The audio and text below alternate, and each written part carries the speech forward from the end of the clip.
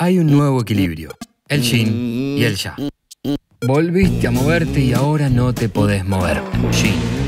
Pedís un analgésico del sillón. Ya. Ahora te toca estirar. Pedido ya. Felicidad instantánea.